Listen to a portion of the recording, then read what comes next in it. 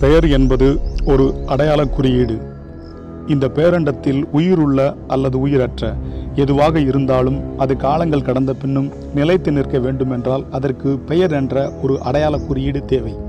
அந்த வகையில் நாம் இப்போது இந்த காணொலி பதிவில் சூரிய குடும்பத்தில் உள்ள கோள்களின் பெயர் எதன் அடிப்படையில் வைக்கப்பட்டுள்ளது என்பது பற்றி காணப்போகின்றோம். இதற்கு முன்னதாக நாம் முதலில் சூரிய குடும்பத்தின் அமைவிடம் பற்றி சுருங்க காண்போம். முதலில் சூரிய குடும்பமானது பால்வெளி விண்மீன் திரள் மண்டலத்தில் அமைந்துள்ளது. இந்த பால்வெளி விண்மீன் திரள் மண்டலமானது பெருவெடிப்பு நிகழ்வு ஏற்பட்டதன் பின்பாக ஏறக்குறைய ஐந்து பில்லியன் ஆண்டுகளுக்கு பின் உருவானதாக ஆய்வாளர்கள் கூறுகின்றனர்.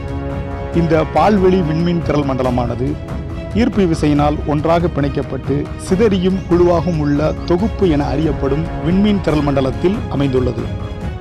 இந்த விண்மீன் திரள் மண்டலமானது பேரண்டம் எனப்படும் மிக பரந்த விண்வெளியில் அமைந்துள்ளது. இந்த பேரண்டத்தில் கோடிக்கணக்கான எண்ணிக்கையில் விண்மீன் திரள் மண்டலங்கள் விண்மீன்கள் கோள்கள் வால் நட்சத்திரங்கள் சிறுகோள்கள் விண்கற்கள் துணைக்கோள்கள் என எண்ணிலடங்காதவை அமைந்துள்ளன. இப்படியான இப்பேரண்டம் ஏறக்குறைய பதினைந்து பில்லியன் ஆண்டுகளுக்கு முன்பு பெருவெடிப்பு என்ற நிகழ்வு ஏற்பட்டதன் விளைவாக உருவாகி இருக்கலாம் என ஆய்வாளர்கள் நம்புகின்றனர். சரி நாம் இப்போது சூரிய குடும்பத்தின் பெயர் எதன் அடிப்படையில் வைக்கப்பட்டுள்ளது என்பது பற்றி காண்போம். சூரிய குடும்பத்தின் ஆற்றல் மையம் முதன்மை கருப்பொருளாக கருதப்படுவது சூரியன். இதன் ஈர்ப்பு விசையின் காரணமாகத்தான் சூரிய குடும்பத்தில் உள்ள அதன் எட்டு கோள்களும் அதன் நீள்வட்ட பாதையில் இயங்குகின்றன. சூரியன் அதாவது பொதுவாக சோலார் என அறியப்படுகிறது. இந்த சோலார் என்ற சொல்லானது சோல் எனப்படும் லத்தீன் மொழி சொல்லிலிருந்து பெறப்பட்டது. இந்த சோல் எனப்படும் லத்தீன் மொழி சொல்லுக்கு சூரிய கடவுள் என்ற பொருள் உண்டு. அடுத்தபடியாக சூரியனுக்கு மிக அருகில் அமைந்திருக்கும் கோள் புதன். இதனை நாம் பொதுவாக அதிகாலை பொழுதிலும் அந்திமாலை பொழுதிலும் வெறும் கண்ணால் காண முடியும்.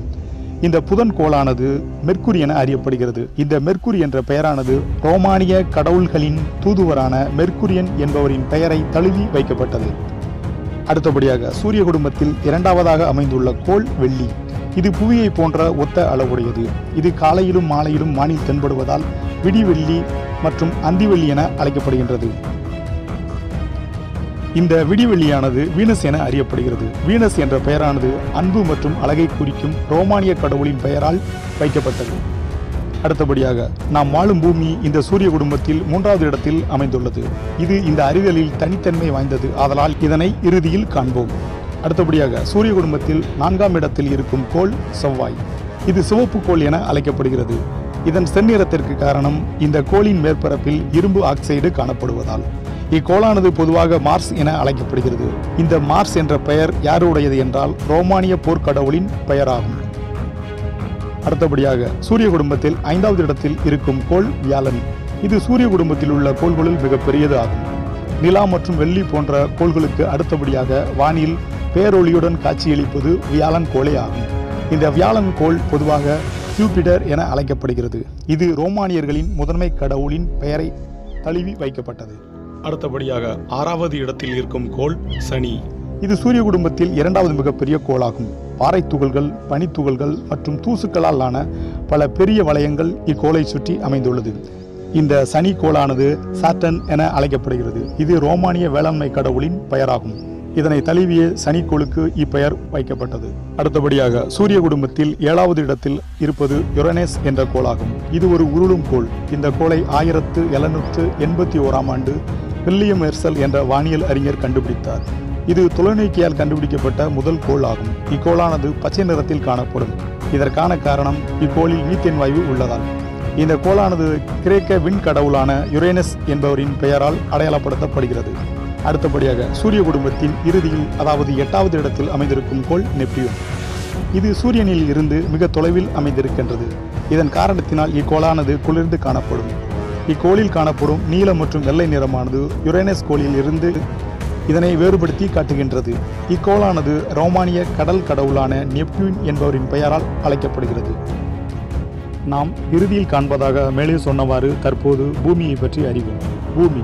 சூரிய குடும்பத்தில் மூன்றாவது இடத்தில் அமைந்துள்ள ஐந்தாவது மிகப்பெரிய கோளாகும். பூமியின் மேற்பரப்பில் நான்கில் மூன்று பகுதி நீர் பரவியுள்ளது. இதன் காரணமாக பூமி நீர்க்கோள் மற்றும் நீலக்கோள் என அழைக்கப்படுகின்றது. சூரிய குடும்பத்தில் உள்ள கோள்களுள் பூமியில் மட்டும்தான் நீர் நிலம் வளிமண்டலம் காணப்படுகின்றது. மற்ற கோள்களுள் இவை காணப்படுவதில்லை. நிலம் நீர் வளிமண்டலம் பூமியில் காணப்படுவதால் பூமியில் உயிரினங்கள் வாழத் தகுந்த சூழல் ஏற்படுகின்றது. இதனால் பூமியில் உயிரினங்கள் வாழ்கின்றன. ஆனால் மற்ற கோள்களுள் உயிரினங்கள் வாழ்வதாக உறுதி செய்யப்படவில்லை. மேலும் சூரிய குடும்பத்தில் உள்ள கோள்களுள் கிரேக்க மற்றும் ரோமானிய கடவுள்களின் பெயரால் அழைக்கப்படாத ஒரே கோள் பூமி மட்டுமே ஆகும்.